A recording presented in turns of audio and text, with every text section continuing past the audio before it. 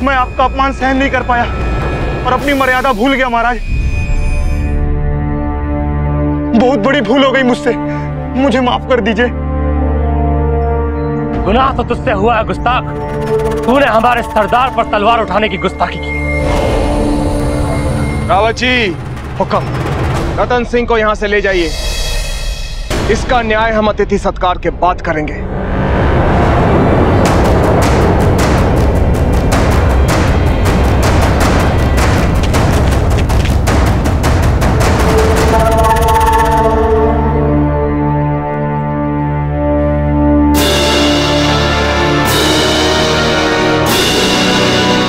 शुक्रिया शहजादे।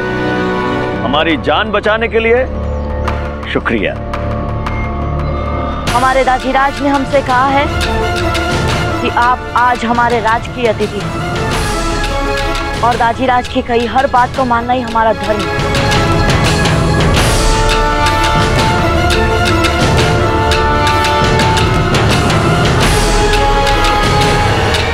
बहुत खूब उदय सिंह। आपका शहजादा तो काबिल फख्र है।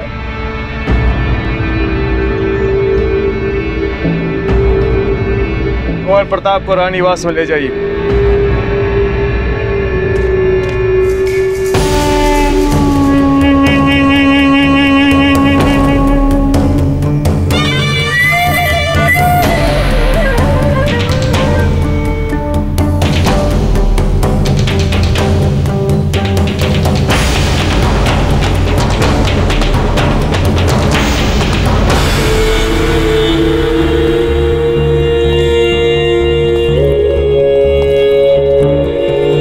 शम्स खान, दरबार की तरफ़ पधारिए।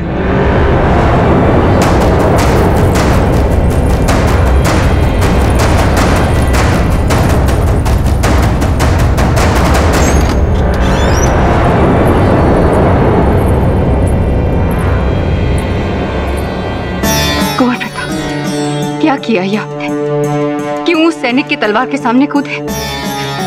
कुछ हो जाता आपको तो। हालत हो रही थी आपकी छोटी माँ की।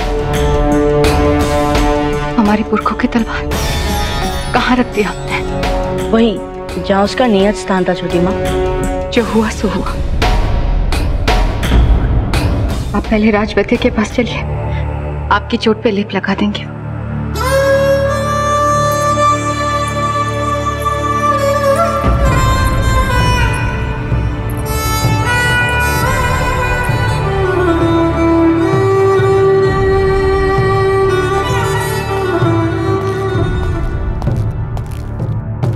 रानी माँ, आप जौहर करने वाली है।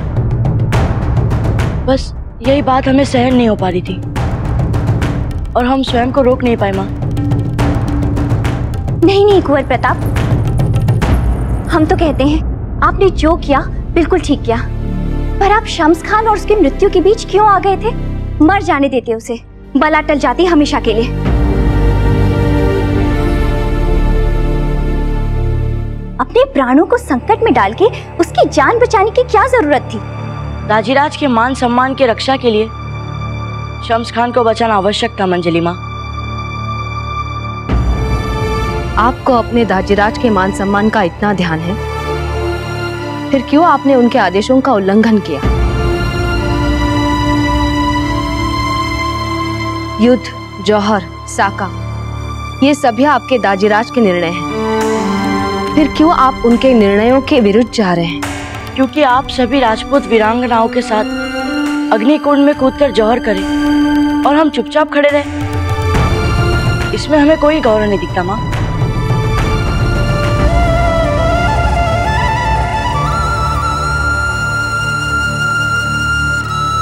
और, माँ, आपने तो कहा था कि दाजीराज युद्ध करने वाले हैं शम्स खान से। फिर उन्हें अतिथि बनाकर महल क्यों बुलवाया? हम आपसे फिर यही कहेंगे कौर प्रताप। अपने दाजीराज के निर्णय पर विश्वास रखें। उनके हर निर्णय के पीछे कोई ना कोई उचित कारण अवश्य होता है।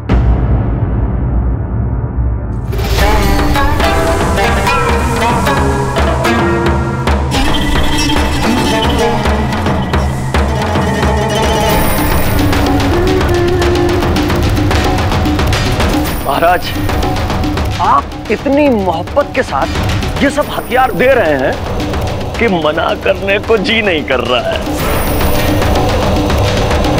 अब आपकी खुशी के लिए ये सब भी ले लेता हूँ। ले लो शम्स खान। ये सब ले लो। महाराज अगर हमें पता होता कि आपके खजाने में सोने की अशर्फियाँ न होने से आप इतनी दरियादिली दिखाएँगे तो आपके खजाने में सोने की अशर्फियाँ कभी न पहुँचने देते हम।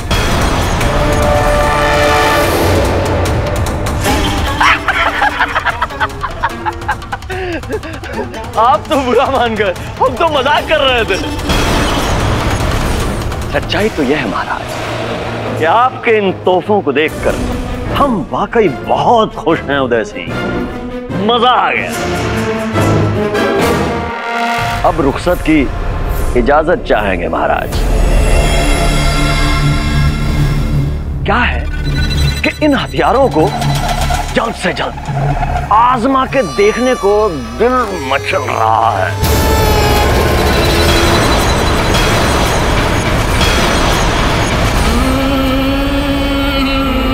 अरे भाई, भेड़ बकरियों को जिबह करके आजमाएँगे। आप राजपूत भी ना, मज़ाक की बात को भी जंग की बात समझ लेते हो।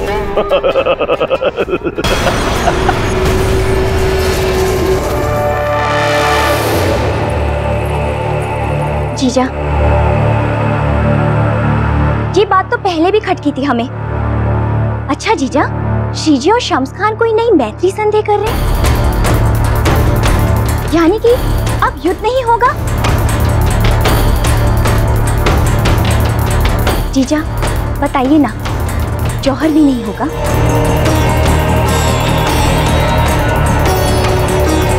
श्री जी, क्या सोच रहे हैं? क्या योजनाएँ बना रहे हैं?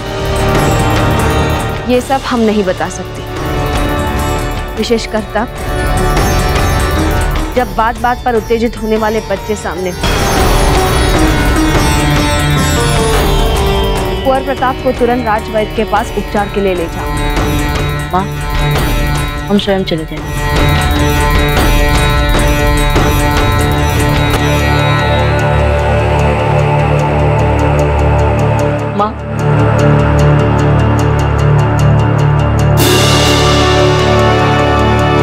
सच जानना चाहते हैं। हम आपको यूँ ही कहीं नहीं जाने देंगे। ये जौहर हम नहीं होने देंगे, माँ।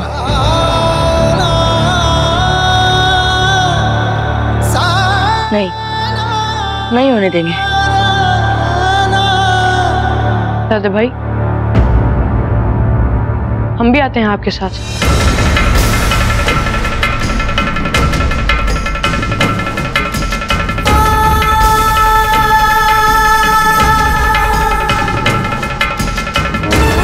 सज्जा रानी साहब जौहर योजना के अनुसार ही होगा। हमें अब अपने बच्चों के साथ अंतिम भोज की तैयारी आरंभ कर देनी चाहिए।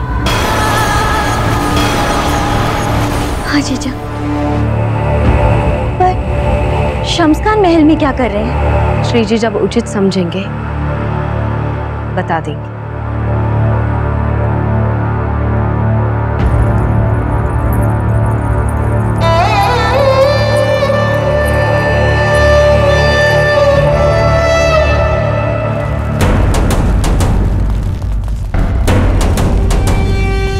भाई वाह बहुत खूब उदय सिंह। मज़ा आ गया। एक बात याद रखिएगा शम्स खान। कौन सी बात? बताइए। ये सारे शस्त्र मेवाड़ राज घराने के। पीढ़ियों से इनकी पूजा हुई। ये साधारण शस्त्र नहीं है शम्स खान। जब भी इनको प्रयोग में लाने का विचार करें तो प्रयोग में लाने से दो दिन पहले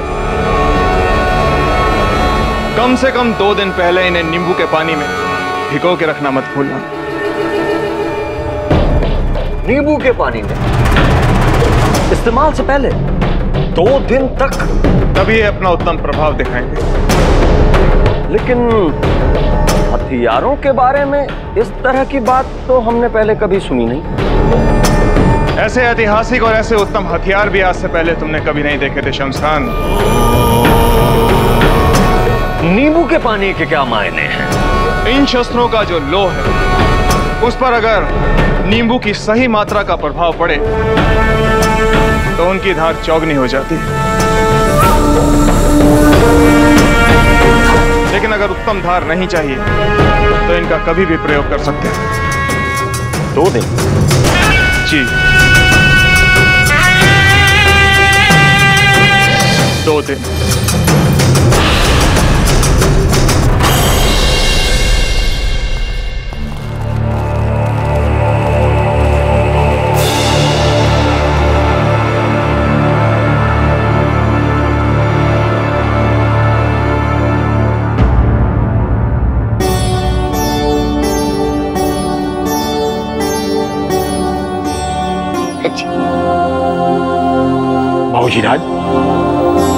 चीखने से शरीर के विकार निकलते हैं। इसलिए आप चीखने से बिल्कुल मत हिचकिचाइएगा।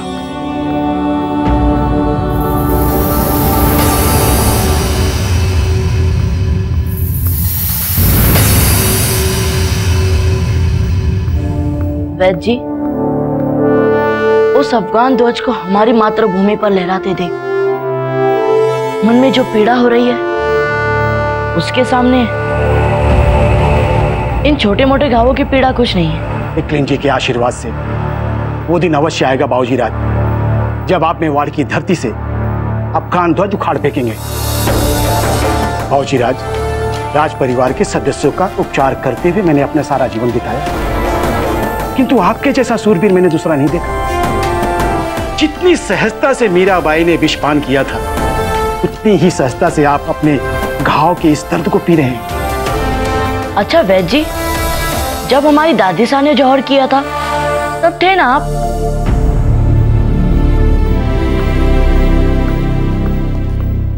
रानी माँ भी कह रही है कि वे जौहर करेंगी। हम उन्हें रोकना चाहते हैं वैद जी। शम्स खान से युद्ध करने में हम भी दाजी राज का साथ देना चाहते हैं, पर हमें कोई कुछ बताता ही नहीं। वैद जी, हमारी सहायता कीजिए। हमें बताइए, क्या हो रहा है यहाँ? हमारे उपचार कक्ष के मेरे अपने नियम जब तक मैं आपको ना कहूँ, आप बिल्कुल हिलिए डुलिएगा नहीं, जाकर के शांति से बैठ जाइए। जाइए।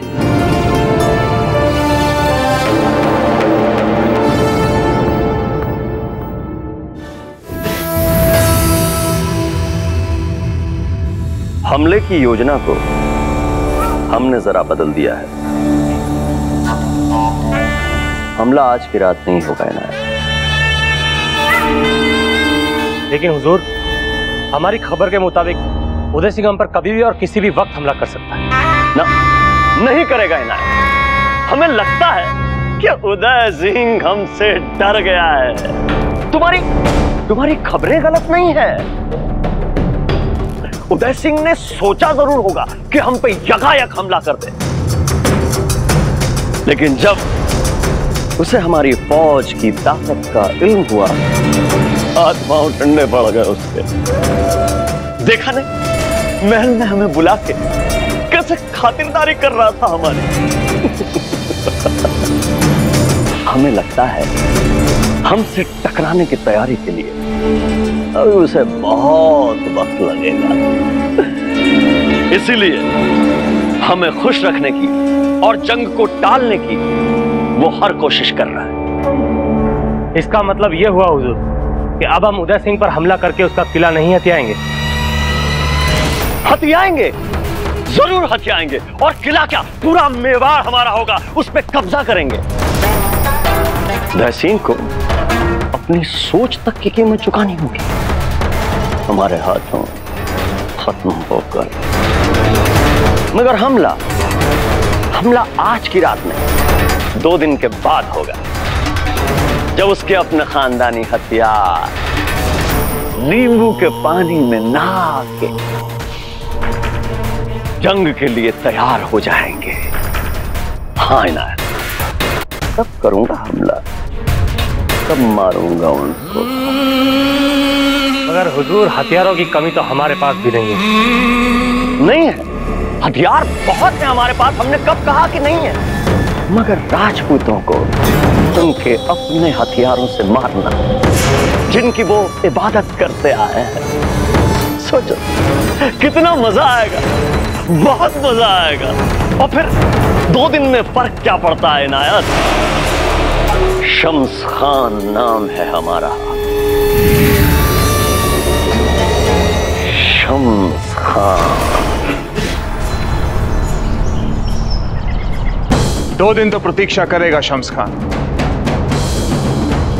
क्योंकि हम पर हमारे अस्त्र शस्त्रों से आक्रमण करने का लोभ आ चुका है उसमें। शम्स खान अभिमान का शिकार है। उसे पूरा विश्वास है कि दो दिनों में हम कुछ नहीं कर पाएँगे।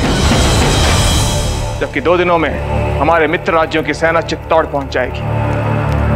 तब हम शम्स खान को युद्ध में कड़ी टक्कर देंगे। हुक्म असंभव परिस्थितियों में आपने हमें दो दिन दिलवाए हैं तैयारियों के आपकी कूटनीति अद्भुत। फिर भी युद्ध तलवार के ज़ोर से ही जीते जाते हैं, रावत जी। समय हमारी मुट्ठी से सूखी रेत की तरह फिसलता जा रहा है। हमारे मित्र राज्यों की सेना जितनी जल्दी हो सके हम तक पहुंचनी चाहिए। सभी बच्चों को सुरक्षित जगह पे पहुँचाने की क्या व्यवस्था है? मान सिंह सोनगरा कब पहुँच रहे हैं? तो कुछ ही क्षणों में यहाँ पहुँचने वाले हैं हुक्म। उत्तम। अति उत्तम जब तक मान सिंह सभी राजकुमारों को रात के अंधेरे में सुरक्षित स्थान पर नहीं पहुँचा देते हमें चैन नहीं आएगा। युद्ध शुरू होने से पहले मेवाड़ के उत्तराधिकारी कुंवर प्रताप को इस किले से बाहर निकालना आवश्यक है। शम्स खान की उस पर वक्र दृष्टि पड़ चुकी है। किंतु महाराज। क्या कुंवर प्रताप चुपचाप यहाँ महल से दूर किसी सुरक्षित स्थान की ओर जाने को तैयार होंगे? वो भी तब जब उनकी रानी माँ यहाँ महल में जौहर करने को तैयार है। और आप स्वयं महल से बाहर उस शम्स खान के साथ घनघोर युद्ध। हम जानते हैं कुंवर प्रताप कभी तैयार नहीं इसलिए हमने उनके लिए राजवैद से नींद की औषधि तैयार करने के लिए कहा है। जब तक कुंवर प्रताप की नींद टूटेगी वो इस किले से दूर बहुत दूर सुरक्षित स्थान पर पहुँच चुके होंगे।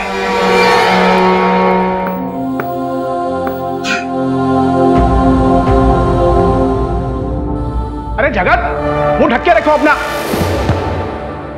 ये ये क्या हुआ जगत जी को? औषधि बनाते हुए उसे नींद आ गई। औषधि बनाते नींद आ गई? ऐसा क्या था उस खरड़ में? उसके गंध सूंघते ही तुरंत नींद आ गई उन्हें। अरे कोई है? सुनो जगत को उठा करके ले जाओ अंदर सुला दो।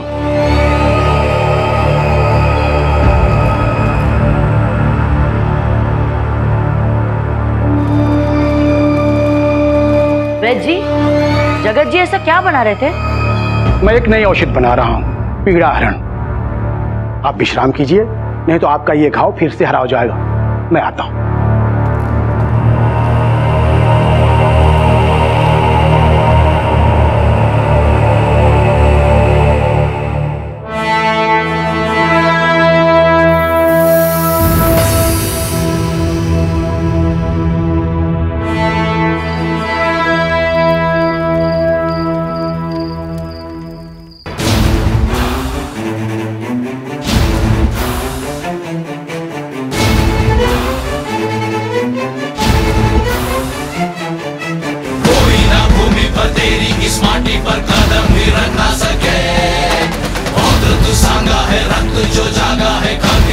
chance à.